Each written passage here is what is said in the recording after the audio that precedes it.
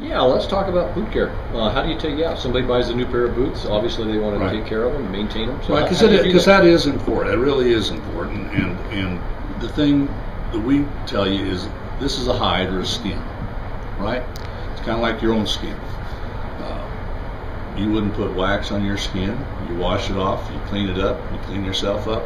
That's what we recommend you do with this. So That's a good way to put when, when this gets maybe a little salt from up here in Colorado, certainly we have road conditions sometimes. Walk around in some salt and grime. Uh, you might see some of that uh, residual on your boot. You might be out in the barn or somewhere like that and get some mud and cake that on there as well.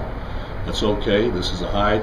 What we recommend you do is take a damp cloth, wipe off your boot, clean it up, get it back to, to the state of kind of clean and Mhm. uh, let it dry naturally. Don't Okay. put it in front of a heater. Right. And then start reapplying some creams to it, never a wax. Put on a, a cream finishes.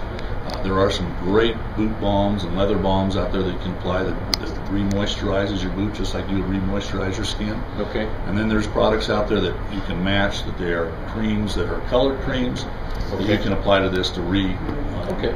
to re-polish your boot.